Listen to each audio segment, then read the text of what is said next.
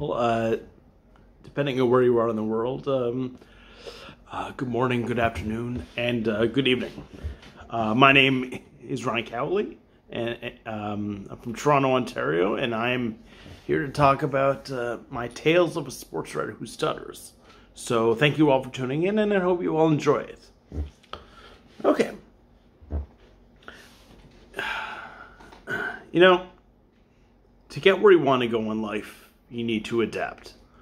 In high school, I had no idea what I wanted to be. Years after high school, even, I still had no idea what I wanted to be. You know, a few months before uh, she lost her battle with cancer, uh, my mother was worried about my uncertainty with my future. I mean, as much as I wanted to find my own calling, to create my own path, I wanted to make my mother proud. Uh, and I still do all these years later, even if she is no longer with us. Just as much, though, I wanted to make my father proud, and I still do, who is still with us, and my brothers, as well as the rest of my family. You know, being the youngest of my family, I was uh, I was nurtured and protected more. This is also due to a stutter I developed as a young child, something that's been with me ever since. Also, since I was a young child, though, I was a big sports fan. Um, having been born a breech, um, and later being diagnosed with, with uh, cerebral palsy, um, I wasn't blessed with many athletic skills. But that was okay, though. That didn't stop me from loving sports. I was into baseball and tennis, but I took a special liking to hockey. Uh, helping, among others, my grandfather cheer on his uh, beloved Montreal Canadiens. And my grandfather, I picked up a lot from my grandfather, which may or may not have cl- included yelling at the TV and a missed call by the referee or when my team lost a close game. All joking aside, though, I had acquired my grandfather's passion for reading and writing. While I dabbled in poetry and screenwriting, observational writing about something I knew and loved, like hockey, stood out most. You know, after a phase where I strive for industries with more opportunity and more income, uh, I found myself miserable and even lost. After countless conversations with friends, family, my therapist, and most of all myself, I knew I had to get back to what made me happy, what brought me the most joy, and that was writing, uh, particularly about sports. You know, it all started um, way back when I was running mock articles on MySpace and then later Facebook. And then a few years, it turned to uh, running my own website about the Los Angeles Kings of the National Hockey League, uh, MakeWayForTheKings.net. That, uh, and then time after that to getting to cover such events as the Stanley Cup Final, the NHL Draft, um, the Hockey Hall of Fame induction weekend. You know, looking back on all of this, I am very proud of how far I have come. along the way, I've uh, befriended fellow fans and writers too. People who either didn't know that I stuttered or just didn't care. My writing is and always has been my escape. It was to show everyone that while it may take me a few minutes to complete a simple sentence verbally, I can be the most articulate, eloquent, poetic even when writing about, say, an inspiring story about a former player's battle with alcoholism, or better yet, about my own emotions um, on that balmy June evening in 2012 when the Kings at last uh, won hockey's holiest, hockey's holiest prize, the Stanley Cup. I look back and take pride in the relationships I've garnered, the friendships I've made with other fans, all the while creating my own voice. But at the same time, as great as all that was, I wanted more. In the summer of 2016, the Kings were about to enter their 50th season. Personally and professionally, I was going through a very difficult time, and if uh, nothing else, I wanted to be productive uh, too productive to think about what was going on in my personal and professional lives. Uh, I loved a job where I was treated well, uh, to go to a job where, while I wasn't a running capacity, I was miserable. Not to mention, uh, um, in my view at least, mistreated and quickly let go for him. Uh, this left me feeling bitter and angry. You know, but but like, you know, while I certainly let these feelings get the better of me early on, I knew I could not continue this way for my mental need my physical well-being. I could have felt sorry for myself, sure, or I could have accomplished something I didn't think I could, and and that was in particular interviewing people over the phone, an area which has always brought me a considerable amount of difficulty. The former was easy and the latter was hard, but as the old adage goes, nothing worth having comes easy. So why not try the latter? To coincide with the team's 50th anniversary, I wanted to interview 50 former Los Angeles Kings players. You know, as a, as a child, I hate to admit this, but as a child, I'd look at something that was verbally challenging and say something along the lines of, too bad I stutter, and then move on. Not this time, though. This time I had hunger to redeem myself. But how would I do this? You know, I never longed for sympathy, I did long for respect. But while facing my fears head on would certainly garner the latter, I was more focused on uh, myself and how I would feel. You know, I was driving with my brother one day when he mentioned uh, the late movie critic Roger Ebert and how he used a voice synthesizer to speak towards the end of his life. Right away, I knew I wouldn't be able uh, to afford something like this, but there had to be something similar. And remembering, as the old adage goes, where there's a will, there's a way. Additionally, I mean, with the advancement in technology, especially with the phrase there's an after that as common as it was, I had no excuses not to find an alternative method of communication. And especially this especially so when it came to interviewing others over the phone. So, so little by little, I began search searching for former Kings players, interviewing them about their respective careers with the organization. I actually began using an app uh, that helped me. Unfortunately, it was very impersonal because it was an app with a robotic voice asking the questions instead of me. It required no work, no progress really uh, uh, on my end in terms of verbal communication. So, you know, again, nothing worth having comes easy. So I decided to pre-record my questions and and uh, and to borrow an idea from uh, from the Oscar-winning movie The King's Speech, I did so while listening to instrumental combat music on my headphones as I recorded my questions. You know, even at first, with the stress and despair I was feeling during this time, I had difficulty even doing this uh, for a while. Asking my friends to recite the questions for me, he, to his tremendous credit, said no and insisted that I keep trying. And as hard as it was, I kept trying until I got it right. Even if it took a few hours or most of the day. And when I first started, it did take that long. You know, as liberating as this method was, though, and as thrilling as the interviews were, we'll always remember the attitudes of many, if not all, the players I had interviewed. Uh, since many of these players had such busy schedules, I put added stress on myself, thinking that I need to speed up my questions and my time with them. My concerns, thankfully, were unfounded.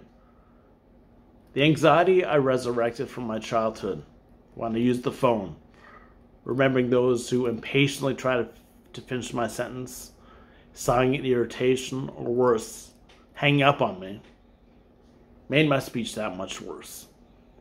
Yet, to my relief, none of these things happened during my interviews. It was both reassuring and comforting. The amount of former players who, emphatic, who empathetically, rather, told me to take my time, who waited patiently for me to finish my sentence, even if it was to say something simple, like hello or thank you. You know, in hindsight, the experience of interviewing 50 former kings filled me with enormous pride, and it still does when I think about it. Knowing that I wanted to keep going, and I did, and, and, and especially as, as hard as it was at times. Looking back on it, though, I wouldn't would not have it any other way.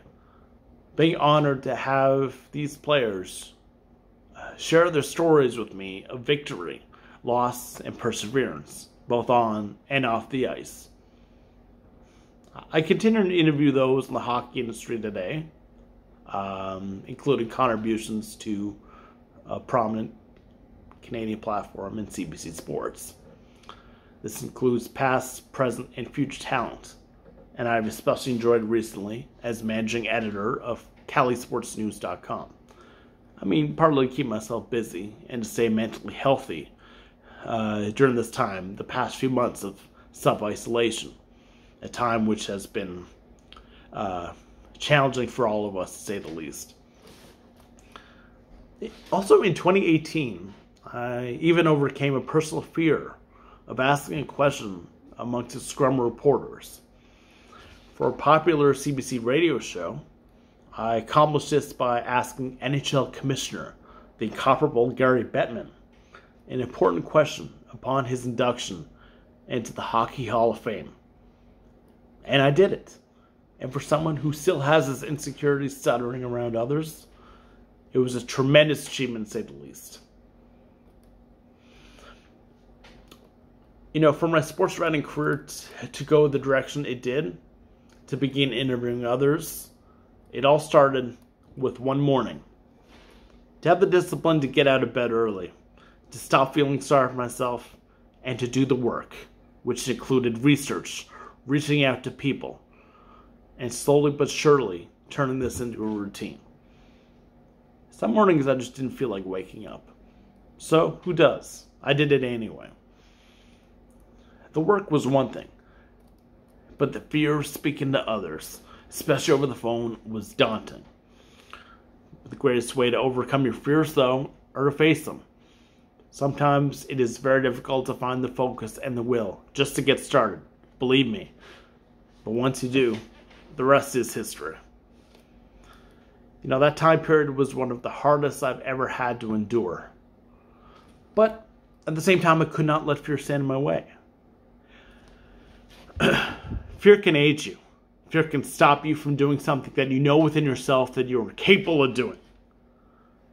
Fear will paralyze you. And I simply had too much to offer to let fear overtake me. If you fail, try again. If you fail again, tr- try again. Again. If you fail, try again. If you keep failing, keep trying. Take a look at all the success stories in all walks of life who, who have failed in one way or another. You know, you will find plenty, and I mean plenty of examples. Trust me. You know, when speaking about this, I think about all the times I felt lonely, ignored, worthless even.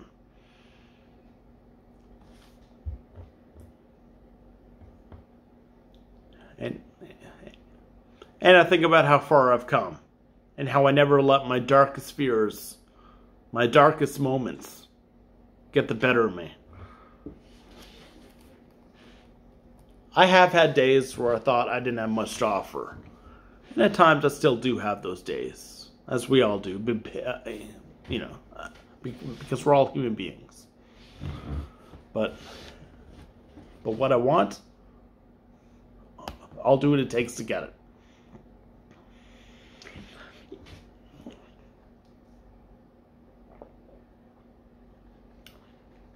You know, there's so many things that I would love to accomplish still. Running for a major sports publication, or a hockey team, or for the NHL. Or to interview uh, the great Wayne Gretzky, or uh, Mario Lemieux, or active players like Sidney Crosby or Connor McDavid. To interview women in hockey, from players and executives to journalists, which include two of my favorite hockey writers, Helene Elliott and Lisa Dillman.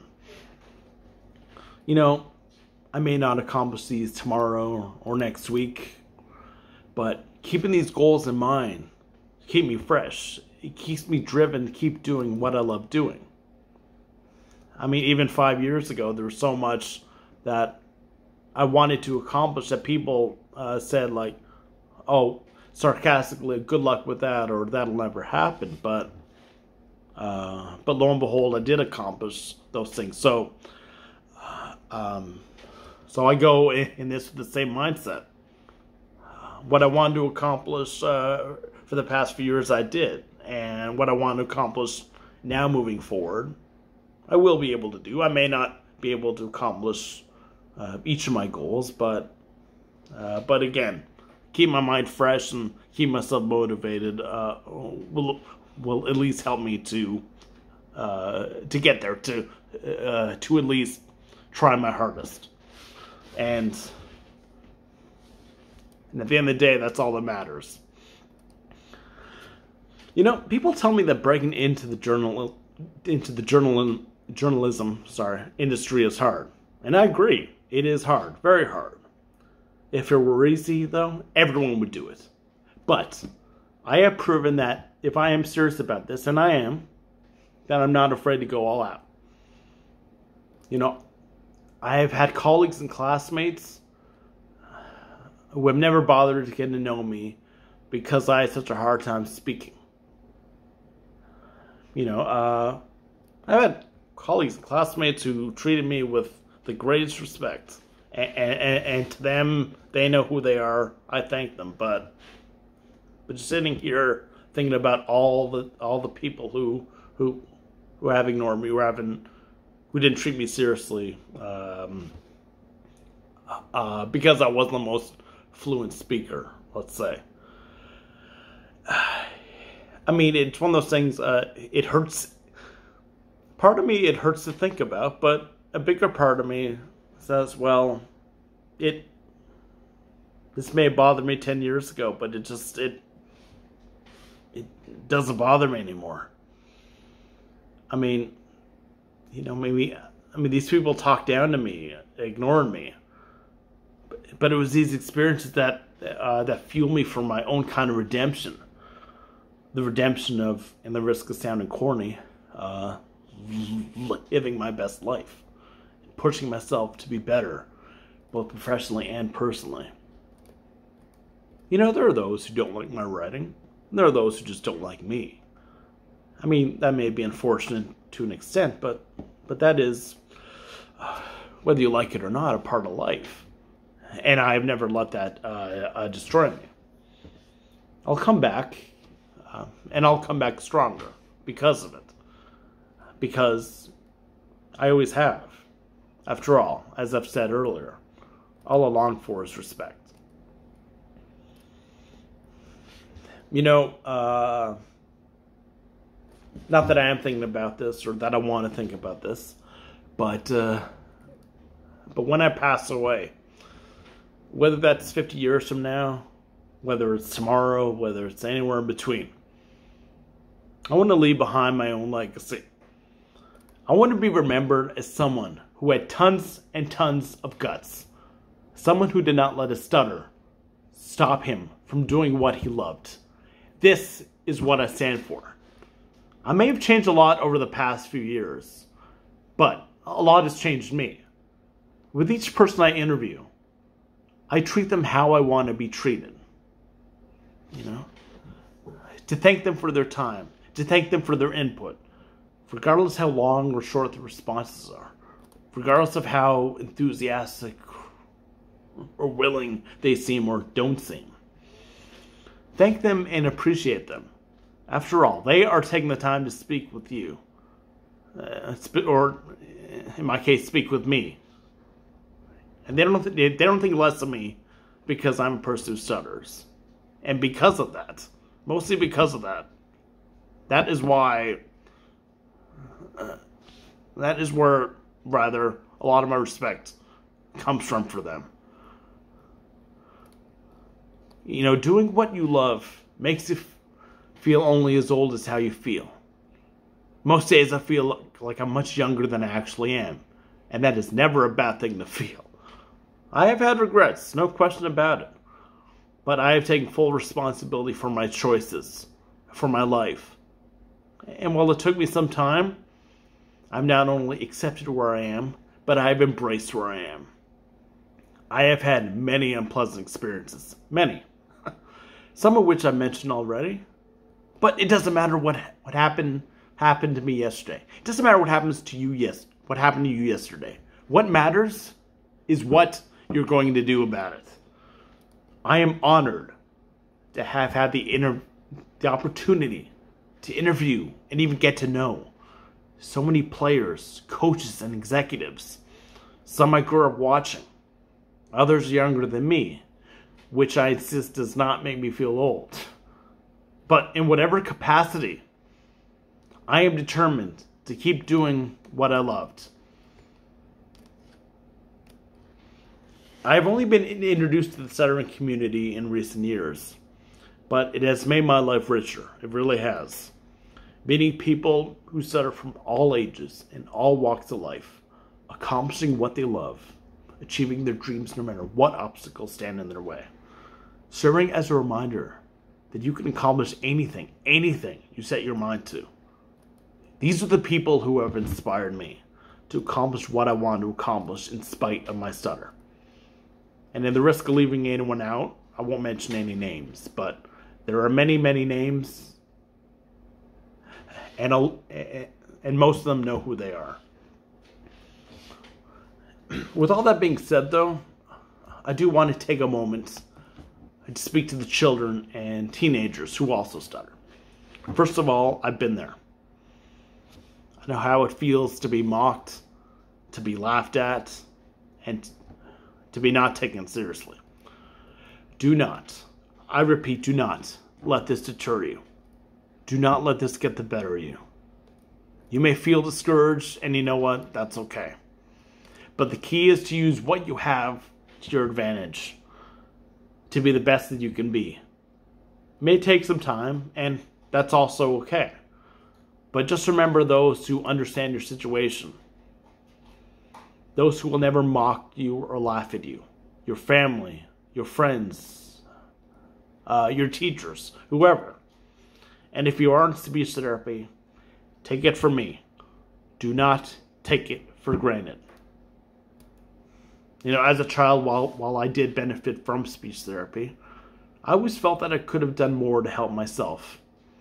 Please take advantage of the opportunities for speech therapy and to get everything you can out of it, especially on days when it does feel like an obligation. And there are going to be days when it does. To Carol, thank you so much for your tireless work as my speech language pathologist when I was a child. I still remember your drawings of, among others, the cute little turtle to remind me to speak slowly. In recent years, I've registered for speech therapy and learned to appreciate more than I ever had. Unfortunately, money became an issue and I needed to stop. Still, do not wait this long.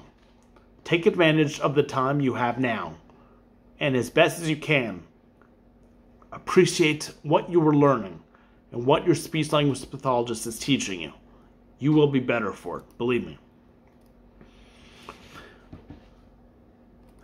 You know, as much as I've accomplished over the last few years, I know there is room for, for improvement.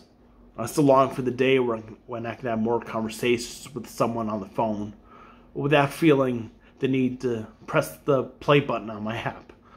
But, like the goals I have for wanting to write for a major sports publication or hockey team, you know, uh, to interviewing the aforementioned Wayne Gretzky, I may not accomplish these right away, but it is nonetheless something that I'm working towards, something that I'm striving for, something that makes me feel motivated and hungry to just keep going.